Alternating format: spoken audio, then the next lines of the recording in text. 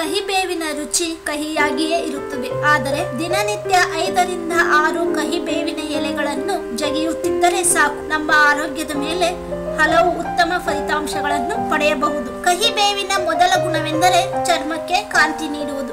ಅಷ್ಟೇ ಅಲ್ಲ, ಚರ್ಮದಲ್ಲಿರುವ ವಿಷಕಾರಿ ಅಂಶವನ್ನು ಹೊರಹಾಕಿ ತುರಿಕೆ, ಅಲರ್ಜಿಯಂತಹ ಚರ್ಮ ಸಂಬಂಧಿ ರೋಗಕ್ಕೂ ಕಹಿಬೇವಿನ ಎಲೆ ಔಷಧವಾಗಿ ಕೆಲಸ ಮಾಡುತ್ತದೆ. ಹಿಂದಿನ ಕಾಲದಿಂದಲೇ ಕಹಿಬೇವಿನ ಎಣ್ಣೆ ಕೂದಲಿಗೆ ಹಚ್ಚಿಕೊಳ್ಳುವ ಸಂಪ್ರದಾಯ ನಮ್ಮಲ್ಲಿದೆ. ಅದೇ ರೀತಿ ಕಹಿ ಬೇವಿನ ಎಲೆ ಜಗಿಯುವುದರಿಂದಲೂ ಕೂದಲು ಸೋಂಪಾಗಿ ಬೆಳೆಯುತ್ತದೆ. ಕಣ್ಣಿನ ತುರಿಕೆ, ಕಣ್ಣು ಕೆಂಪಾಗುವುದು ಇತ್ಯಾದಿ ಸಮಸ್ಯೆಗಳಿಗೆ ಕಹಿಬೇವಿನ ಎಲೆ ಪರಿಹಾರವಾಗಬಹುದು. ಹಾಗೆಯೇ ದೃಷ್ಟಿಯು ತೀಕ್ಷ್ಣವಾಗುತ್ತದೆ. ಕಹಿಬೇವಿನಲ್ಲಿ ಆಂಟಿ ಆಕ್ಸಿಡೆಂಟ್ ಅಲರ್ಜಿ ನಿವಾರಕ ಅಂಶ ಹೇರಳವಾಗಿದ್ದು, ದೇಹಕ್ಕೆ ಉತ್ತಮ ರೋಗ ನಿರೋಧಕ ಶಕ್ತಿಯಾಗಿ ಕೆಲಸ ಮಾಡಬಲ್ಲದು. ಅಷ್ಟೇ ಅಲ್ಲ, ಸಾಮಾನ್ಯ ಜ್ವರದಿಂದ ಕ್ಯಾನ್ಸರ್ ಹೃದಯ ಕಾಯಿಲೆಯಂತಹ ಗಂಭೀರ ರೋಗಗಳನ್ನು ತಡೆಗಟ್ಟುವ ಸಾಮರ್ಥ್ಯ ಕಹಿಬೇವಿನ ಎಲೆಗಳಿಗಿದೆ.